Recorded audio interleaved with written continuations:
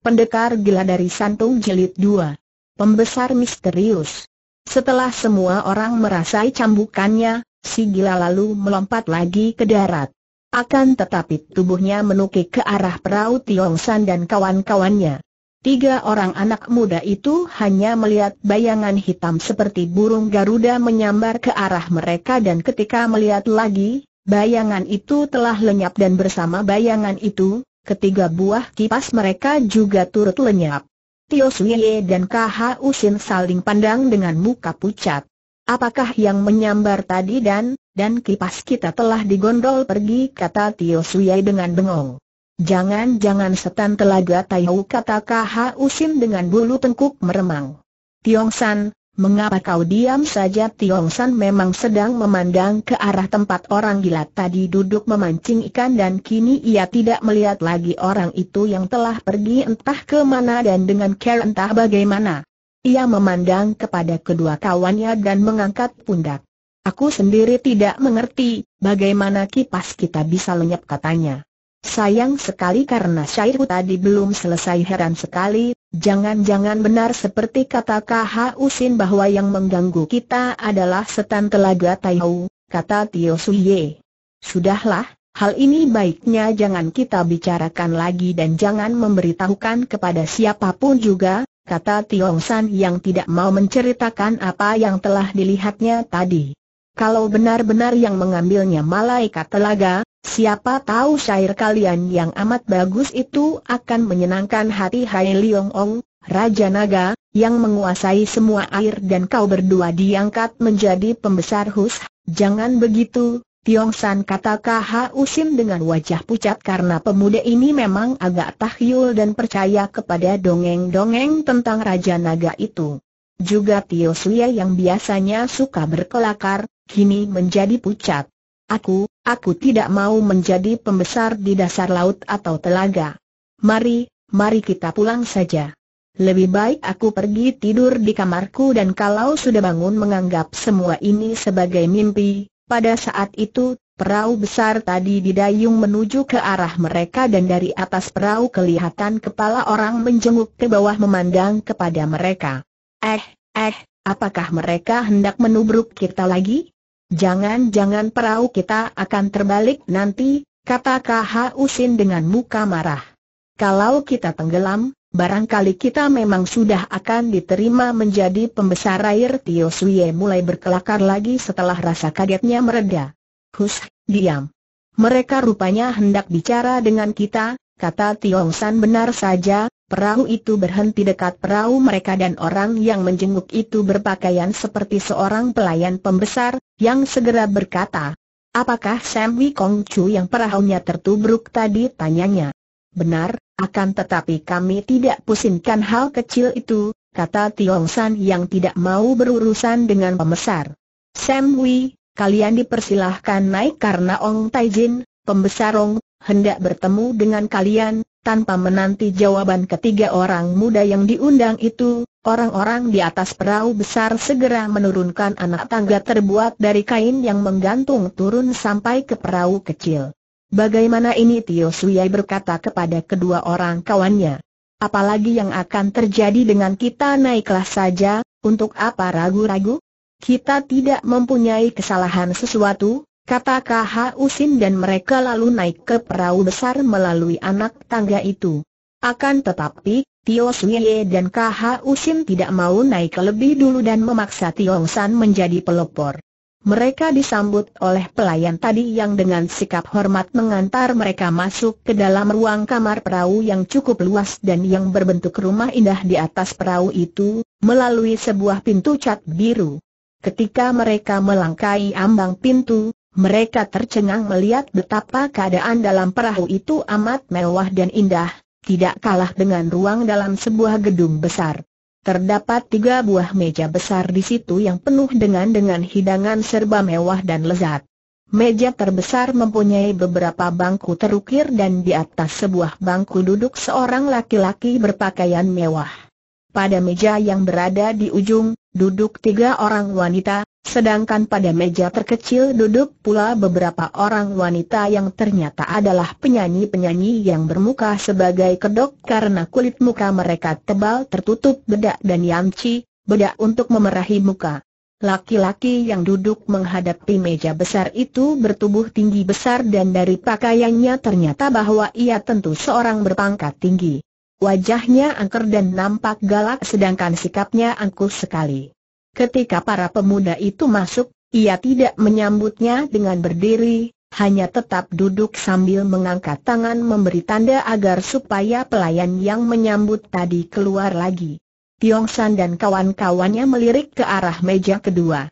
Di situ duduk menghadapi meja tiga orang wanita. Seorang di antara mereka sudah tua, agaknya istri pembesar ini, yang seorang lagi masih muda dan cantik, Sedangkan orang ketiga adalah seorang gadis yang mempunyai kecantikan seperti seorang bidadari dari kahyangan. Sukar melukiskan gadis ini yang berpakaian mewah, akan tetapi memakai bedak yang tipis sekali. Kalau Tio Suye disuruh membuat syair memuji kecantikan gadis itu, tentu ia akan menyamakan gadis itu dengan burung hong, raja segala burung, dan kalau kembang ia adalah kembang seruni, kalau pohon tentu pohon liu, cemara, yang tidak saja indah, akan tetapi juga mempunyai batang yang lemah hingga dapat menari-nari kalau tertiup angin. Pembesar itu memandang kepada ketiga pemuda itu dengan matanya yang lebar dan ia nampak senang melihat tiga orang muda yang sopan santun dan tampan itu. Melihat bahwa orang yang mengundang mereka adalah seorang pembesar tinggi, Tio Suye yang telah sering bertemu dengan pembesar-pembesar di kota Raja lalu menjura dengan amat hormatnya, diturut oleh KH Usin dan Tiong San pembesar itu tertawa senang dan berkata, Ah, anak-anak muda, duduklah di sini, di mejaku ini. Aku girang melihat bahwa yang ditubruk perahunya adalah kalian orang-orang muda terpelajar. Harap kalian bertiga suka memaafkan orang-orangku yang menubruk perahumu tanpa sengaja dan mendatangkan banyak kekagetan, tidak apa, Taijin. Kami bertiga tidak mendapat kecelakaan sesuatu, jawab Tiong San dan mereka bertiga lalu duduk di depan pembesar itu setelah sekali lagi dipersilakan. Tio Sui menjadi girang sekali ketika mendapat kenyataan bahwa dengan duduk menghadapi pembesar itu, maka mereka bertiga secara langsung dapat melihat meja di mana duduk gadis cantik itu yang kebetulan duduknya menghadap ke arah mereka pula. Tio Suye dan KH Usin hampir tak dapat menahan keinginan hati mereka untuk sering-sering melirik ke arah gadis cantik itu. Hanya Tiong San yang selalu tunduk karena ia memang sama sekali tak pernah merasa tertarik kepada keindahan wajah dan bentuk tubuh seorang wanita. Untuk menghilangkan kaget, kalian harus minum arak wangi yang sengaja kudatangkan dari Hok Chiu, kata pembesar itu dan ia lalu berseru ke arah pintu ruangan itu, Hei, tambahkan arak dan daging. Kemudian ia lalu menoleh kepada gadis cantik tadi dan berkata, Siu Eng, suruh mereka menyanyi lagi. Terdengar suara gadis itu memberi perintah kepada rombongan penyanyi dengan suara yang amat merdu dan tak lama kemudian terdengar suara nyanyian diiringi suara yang him. Biarpun muka para penyanyi itu menyebabkan pemandangan mata, Tio Suye dan kawan-kawannya, akan tetapi mereka harus mengakui bahwa suara para penyanyi itu cukup merdu. Setelah seorang pelayan membawa masuk seguci arak wangi dan menuang isinya ke dalam cawan-cawan yang telah disediakan, pembesar itu lalu berkata, Ayo, kita minum untuk menghilangkan kekagetan tadi sambil mendengar nyanyian merdu biarpun merasa sungkan-sungkan, akan tetapi ketiga orang muda itu lalu minum arak yang ternyata amat wangi dan enak. Anak-anak muda, kalian siapakah? Siapa namamu dan di mana kalian tinggal? Setelah bertemu, ada baiknya aku mengetahui nama kalian. Siapa tahu kelak dapat bertemu lagi, kata pembesar itu. Saya adalah Sili, bernama Tiong San, dan kedua kawanku ini bernama KH Usin dan Tio Suye. Kami bertiga dari Dusun Kui Machun tidak jauh dari Telaga Taihu. Kawan-kawanku ini yang mendapat hari libur dan baru kembali dari kota raja bersama saya sendiri sengaja datang menghibur diri di tempat ini. Sungguh beruntung dapat bertemu dengan Taijin yang ramah tamah dan mulia, pembesar itu amat senang mendengar ucapan Tiong San yang sopan santun. Bagus, bagus, kalian orang-orang muda memang harus belajar dengan rajin agar kelak dapat membantu pemerintah mengatur negara. Kemudian suaranya berubah ketika ia mengajukan pertanyaan-pertanyaan dengan tiba-tiba, apakah kalian kenal dengan orang gila yang mengacau tadi? Siapakah dia dan di mana tempat tinggalnya sambil berkata demikian, ia memandang tajam dan matanya menatap wajah ketiga orang pemuda itu berganti-ganti dengan sinar mata menyelidik.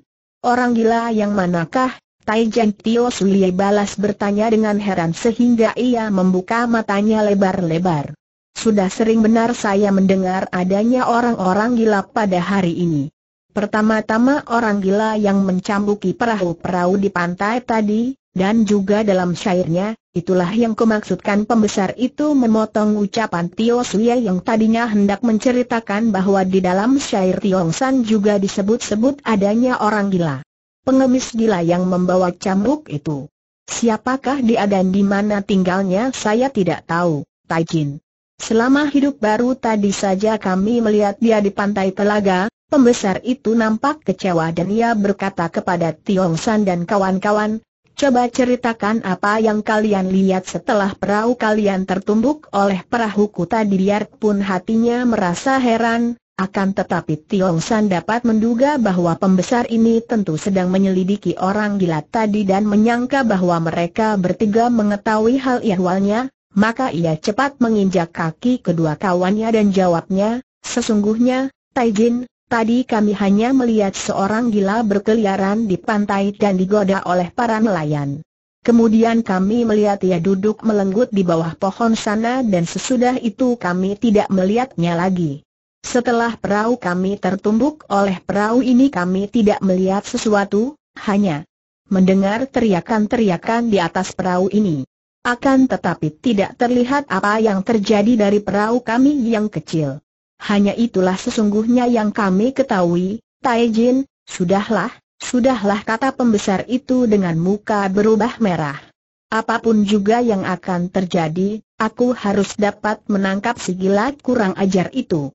Kalian boleh turun lagi dan aku mengucapkan terima kasih atas segala keteranganmu. Kalau kalian perlu sesuatu di kota raja, mungkin aku dapat membantumu asal saja kau suka mencari rumahku, Tiba-tiba Tio Sue mendapat pikiran bagus. Siapa tahu kalau-kalau pembesar ini dapat menolongnya mendapatkan pangkat? Ia lalu menjura dan bertanya, maaf, Taijin, akan tetapi di kota raja terdapat banyak sekali gedung-gedung besar. Yang manakah milik Taijin pembesar itu tertawa? Asal kau tanya di mana tempat tinggal Pangeran Lu Guanong, Siapakah yang takkan kenal nama Kutio Sue membuka mata lebar-lebar dan ia segera menjatuhkan diri berlutut di depan pangeran itu, diturut oleh KH Usin yang juga amat terkejut. Akan tetapi, Tiong San hanya menjura saja dan ia tidak melihat alasan yang cukup kuat untuk ikut-ikutan berlutut. Maafkan hamba yang kurang hormat kepada Taijin karena tidak tahu, kata Tio Sue dan KH Usin. Bangunlah, Bangunlah kata pangeran itu sambil mengerling tajam ke arah Tiong San yang masih berdiri.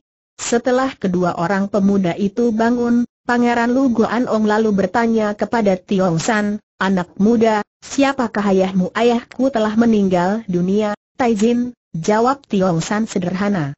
Akan tetapi Tio Sue yang merasa girang bertemu dengan pangeran itu, segera menyambung, Taijin, kawan hamba Tiong San ini adalah putra tunggal mendiang Li Tihu yang menjabat pangkat Tihu di kota Liongxia, sedangkan kawan hamba KH Usin ini adalah anak kepala kampung hamba, dan hamba sendiri adalah anak seorang guru sastra di kampung hamba pula. Hamba bertiga berasal sekampung, Taijin, yaitu kampung Kui Matsyung, Tentu saja segala keterangan ini hanya seperti angin lalu saja terhadap telinga Pangeran Lu Ong, maka ia hanya menjawab, hektometer, HMM, dan memberi tanda kepada pelayan untuk mengantar mereka keluar. Setelah tiba di perahu sendiri dan mendayung perahu itu ke tepi telaga, Tiong San mengomel, kalian berlaku seolah-olah dia itu raja sendiri. Apakah sikap menjilat itu kalian pelajari pula di kota raja dengan muka sungguh-sungguh Tio Suyai berkata, Tiong San, kau tidak tahu, Pangeran Lu Goan Ong adalah seorang yang amat tinggi kedudukannya. Kalau tidak salah ia adalah keluarga kaisar sendiri dan menjadi seorang di antara para penasehat kaisar. Ia kaya raya dan amat berpengaruh sehingga semua pembesar di kota raja tunduk kepadanya. Tentu saja kita harus menghormatinya sebagai seorang pembesar tinggi, kini taulah Tiong San, maka ia berkata, Hektometer, kalau begitu soalnya, pantas saja kalian demikian menghormatinya, sungguh pun bagiku yang tidak membutuhkan pertolongannya tak perlu aku harus melakukan penghormatan sedemikian rupa, Ketiga orang pemuda itu kembali ke kampung mereka dan di sepanjang perjalanan, Tio Suye dan KH Usim tiada hentinya membicarakan pangeran besar itu, dan menyatakan pengharapannya mereka untuk bisa mendapat pertolongan kelak di kota raja. Gadis tadi amat cantik jelita seperti bidadari, kata KH Usin setelah mereka habis membicarakan pangeran itu sendiri. Cocok kata Tio Suye dengan hati puas. Memang ia bidadari dan namanya juga manis, Siu Eng, ah, siapa tahu kalau-kalau kelak aku dapat bertemu pula padanya. Ia cantik sekali, dan biarpun mukanya tidak dibedaki, akan tetapi sepasang pipinya seperti bunga bowotan berbeda sekali dengan para penyanyi yang berbeda tebal kata KH Usin. Hih! Muak dan geli aku melihat para penyanyi itu kata Tio Suye sambil meludah. Bedak mereka itu mungkin tebalnya ada setengah dim. Seperti topeng setan kedua pemuda itu tertawa geli, akan tetapi Tiong San tidak ikut membicarakan keadaan pangeran dan gadis itu karena pikirannya penuh dengan bayangan orang gila yang aneh tadi. Siapakah dia? Dan mengapa kepandaiannya demikian hebat? Manusiakah dia atau dewa telaga tehu? Dan yang paling mengherankan hatinya dan membuatnya penasaran adalah perampasan kipas-kipas yang ia yakin dilakukan pula oleh orang gila. Apakah kehendaknya maka sampai mengambil kipas-kipas bersyair yang tidak berharga itu? Setibanya di rumah, ketiga orang pemuda itu tenggelam dalam lamunan dan masing-masing terserang penyakit rindu yang berbeda-beda. Tiong San ingin sekali bertemu kembali dengan orang gila yang amat menarik hatinya itu. KH Usin ingin sekali dapat menghadap Pangeran Lu Goan Ong karena rindu akan pangkat dan kedudukan tinggi. Sedangkan Tio Suya biarpun juga mengharapkan pangkat, namun lebih condong hatinya untuk bertemu dengan Siu Eng, gadis yang telah menawan hatinya itu. Ternyata bahwa pengalaman yang mereka alami di Telaga Taihu itu berkesan hebat dalam hati mereka dan mendatangkan perubahan yang hebat sekali kepada hidup mereka selanjutnya tiga hari kemudian, KH Usin dan Tio Suye datang ke rumah Tiong San untuk berpamit karena mereka berdua hendak kembali ke kota raja dan melanjutkan pelajaran mereka. Kebetulan sekali terdapat serombongan Piao Wusu, pengawal dan pengantar barang-barang dari satu ke lain tempat, semacam usaha ekspedisi, yang datang dari Socheo dan hendak mengantarkan barang-barang dua gerobak banyaknya ke kota raja. Pada masa itu, melakukan perjalanan jauh tidaklah semudah sekarang oleh karena selain tidak ada kendaraan-kendaraan baik dan juga tidak terdapat jalan-jalan raya yang cukup sempurna. Juga perjalanan itu melalui hutan-hutan liar yang banyak terdapat binatang-binatang buas dan perampok-perampok yang lebih buas lagi daripada binatang hutan. Oleh karena itu, KH Usin dan Tio Sue merasa girang sekali melihat adanya rombongan Piao Su dari Pekeng Piao Kiok, perusahaan ekspedisi Garuda Putih, lewat di dusun Kui Matsyung, dan mereka lalu mempergunakan kesempatan itu untuk membonceng atau ikut minta perlindungan dengan membayar sedikit biaya. Memang, Piao Kiok Piao Kiok ini dibuka oleh orang-orang gagah yang memiliki kepandaian tinggi untuk mengantar barang-barang berharga dan mengawalnya serta melindunginya dari gangguan perampok-perampok di jalan. Dan Pek Eng Piao Kiok telah mempunyai pengaruh besar sekali oleh karena yang menjadi kepala atau pemimpinnya adalah seorang gagah perkasa bernama Chit yang berjuluk Tek Eng atau Garuda Putih. Chit mempergunakan pengaruh namanya untuk memberi nama kepada perusahaannya. Dan tiap kali orang-orang atau murid-muridnya mengantar barang berharga, asal pada gerobak-gerobak itu ditancapi bendera yang dilukis dengan gambar seekor Garuda putih sedang terbang mengembangkan sayap dan mengulur kedua cakarnya, kaum rimba hijau, perampok, takkan berani mengganggunya. Tiong San, kata Tio Suye. Alangkah senangnya kalau kau bisa ikut dengan kami dan tinggal bersama di kota Raja Benar, menyambung KH Usin. Tanpa adanya kau di sana, seakan-akan kami merasa kurang lengkap Tiong San tersenyum dan menarik napas panjang. Terima kasih atas kebaikan hati kalian.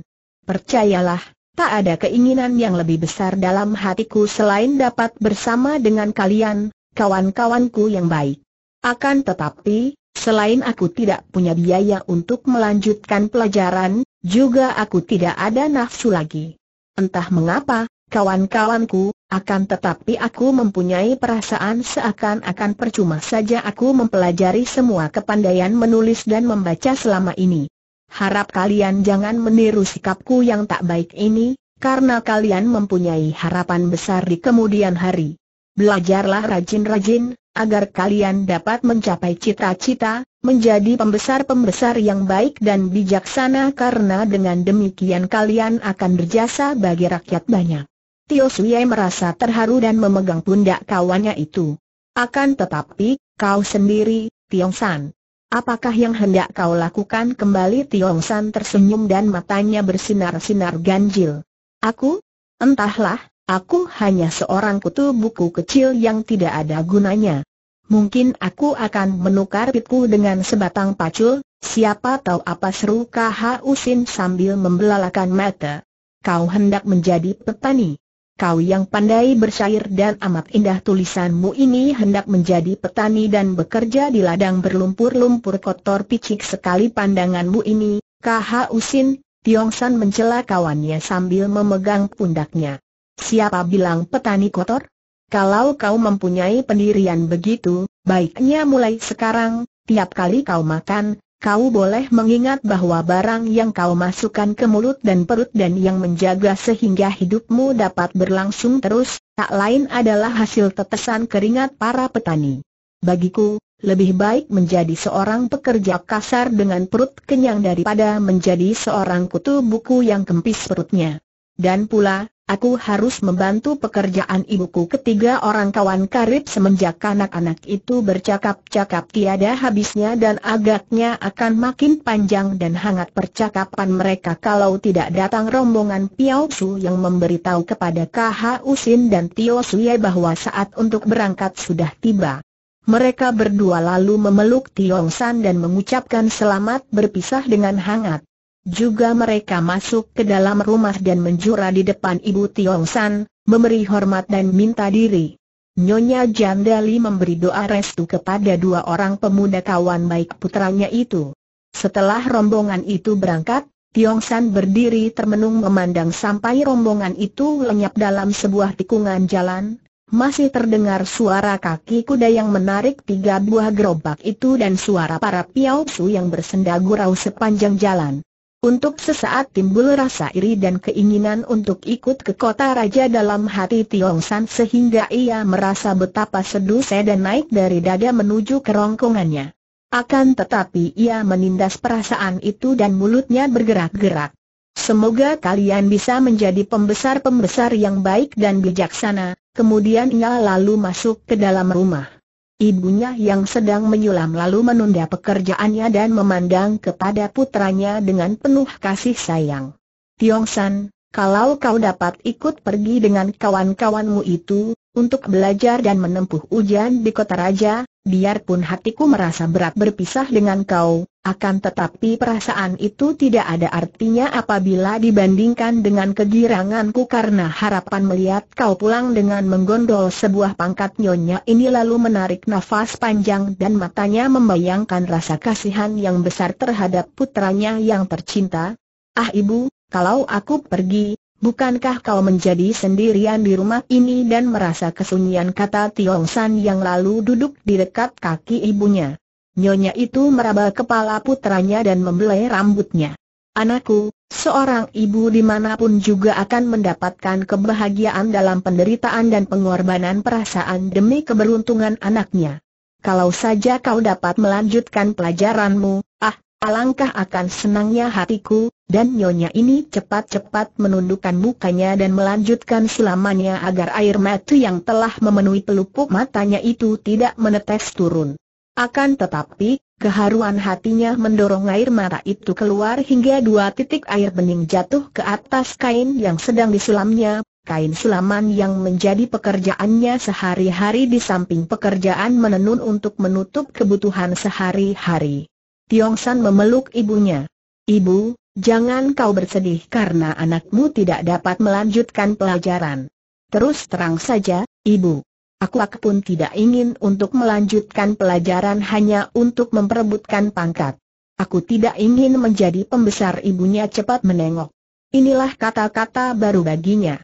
Cita-citanya sejak dulu, juga cita-cita mendiang suaminya, adalah melihat putra tunggal ini menjadi seorang pembesar yang terhormat dan bijaksana. Seperti ayahnya. Akan tetapi pengakuan tidak suka menjadi pembesar ini benar-benar mengagetkan hatinya. Apa katamu, nak? Kau tidak suka menjadi pembesar? Mengapa aku tidak suka menjadi pembesar, terutama pada dewasa ini, ibu? Hal ini disebabkan oleh rasa sebal dan benciku melihat betapa sebagian banyak pembesar negeri menjalankan kejahatan di balik kedok kedudukan mereka. Tentu ibu masih teringat betapa aku yang telah lulus ujian tak dapat menerima pangkat oleh karena aku tidak punya uang untuk menyogok. Keadaan di kota raja kotor sekali. Hampir semua pembesar hanya mementingkan kesenangan diri dan menumpuk harta tanpa memperdulikan halal atau tidaknya harta yang mereka tumpuk untuk keperluan diri sendiri itu. Aku tidak sudi menjadi pembesar macam itu, ibu-ibunya menarik napas panjang. Hatimu sama benar dengan ayahmu. Mendiang ayahmu biarpun menjadi seorang pembesar akan tetapi hidup secara jujur, tidak memeras rakyat bahkan membuang-buang uang untuk orang miskin.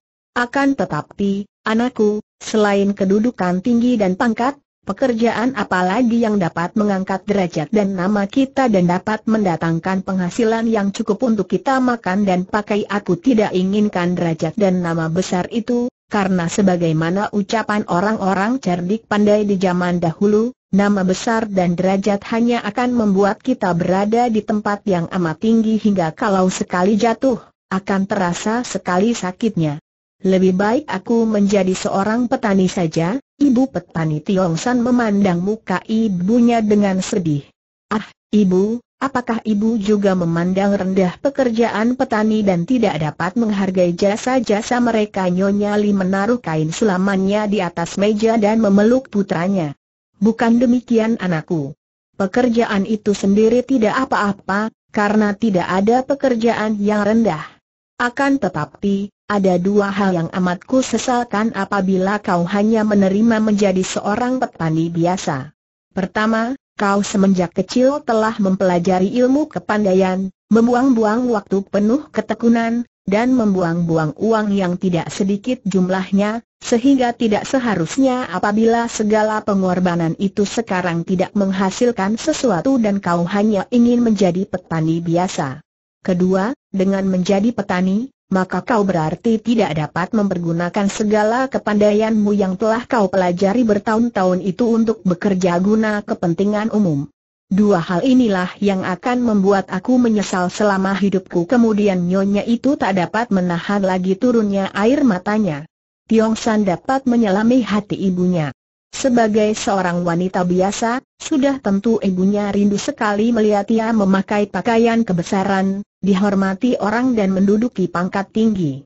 Hati ibunya akan menjadi besar dan bangga melihat puteranya menjadi orang mulia. Kalau ia menjadi petani, maka setidak-tidaknya ibunya akan merasa malu dan kecewa. Ibu katanya kemudian dengan suara menghibur. Percayalah bahwa anakmu akan berusaha sekuat tenaga untuk melakukan perbuatan yang akan menjunjung tinggi nama keluarga kita. Akan tetapi tidak sebagai pembesar, karena kepandaian kesusastraan pada dewasa ini hanya digunakan untuk mencelakai sesamanya, untuk merusak, bukan untuk melakukan kebaikan. Kalau aku melakukan sesuatu demi kebaikan orang banyak, maka pekerjaan yang kulakukan itu bukan berdasarkan kepandaianku menulis habis, selain menulis dan membaca, kau mempunyai kepandaian apalagi tanya ibunya yang mulai merasa jengkel. Tiong San menundukkan kepalanya dan terbayanglah orang gila yang dijumpainya di telaga Taihou kemarin dulu itu. Ah, pikirnya. Kalau saja aku mempunyai kepandaian selihai orang gila itu, tentu aku dapat melakukan perbuatan mulia yang akan lebih menggemparkan daripada kepandaian kesastraan yang kumiliki. Ia menarik napas panjang berulang-ulang tanpa dapat menjawab pertanyaan ibunya, sehingga orang tua itu merasa kasihan melihatnya.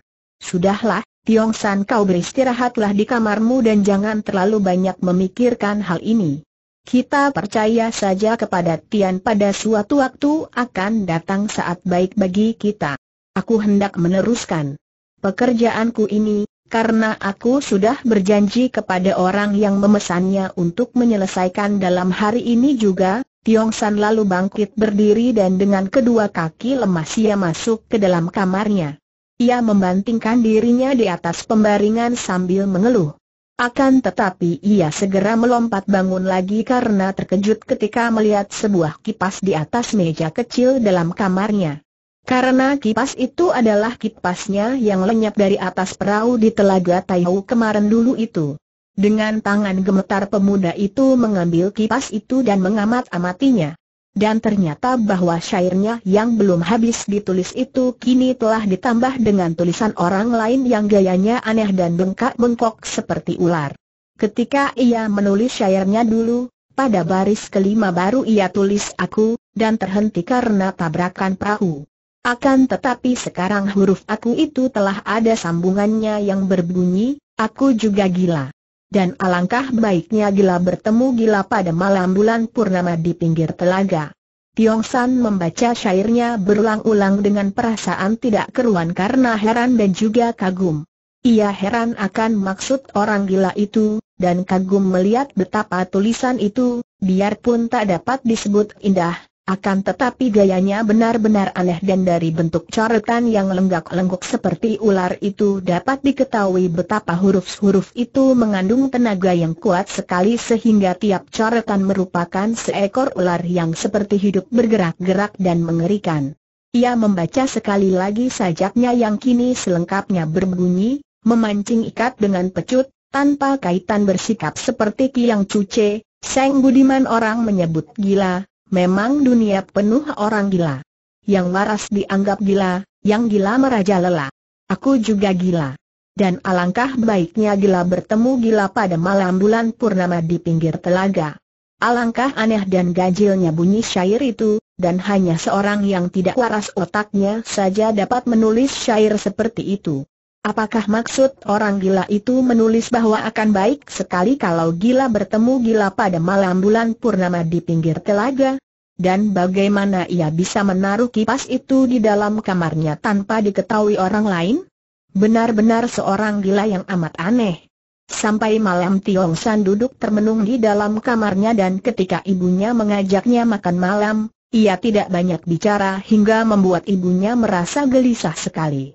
Sehabis makan, pemuda itu tanpa menukar pakaiannya lalu kembali ke dalam kamar lagi dan duduk termenung sambil membuka jendela kamarnya. Tiba-tiba tanpa disengaja ia melihat ke angkasa dan mukanya bercahaya terang ketika ia melihat bulan yang hampir tersenyum di balik awan. Dan cepat Tiong San mengeluarkan kipas yang sejak tadi berada di sakunya dan membaca syair itu sekali lagi. Ah, Tentu ada maksudnya si gila menulis syair itu, pikirnya. Bulan purnama akan muncul dua tiga hari lagi. Mengapa aku tidak pergi ke sana dan melihat-lihat kalau-kalau ia berada di pinggir telaga? Ia telah menyebutku gila dan mengaku bahwa ia pun gila, dengan kata-katanya si gila bertemu si gila pada malam terang bulan purnama di pinggir telaga, bukankah itu suatu ajakan untuk mengadakan pertemuan di pinggir telaga Tehu? Pada keesokan harinya, pagi-pagi sekali Tiong San menjumpai ibunya dan berkata, Ibu, izinkanlah aku pergi sekali lagi ke Taihou. Ibunya merasa heran. Bukankah baru saja kau kembali dari sana benar, Ibu? Akan tetapi aku ingin sekali menghibur diri sekali lagi di sana. Siapa tahu perjalananku kali ini akan mendatangkan perubahan baik seperti yang ibu harapkan kemarin. Ibunya menggelengkan kepala. Anakku, kau terlalu banyak memikirkan masa datang yang suram. Baiklah, kau hiburlah hatimu di telaga Taihu dan mudah-mudahan nantian yang Maha Agung membuka jalan baik bagimu, dengan tergesa-gesa Tiong San lalu berangkat ke Taihu. Malam hari itu, Ketika semua pelancong telah meninggalkan telaga dan bahkan para pemilik perahu kembali ke rumah masing-masing sehingga telaga itu sunyi senyap, Tiong San tidak meninggalkan tempatnya dan masih duduk melamun di bawah pohon di mana si gila itu dahulu menangkap ikan.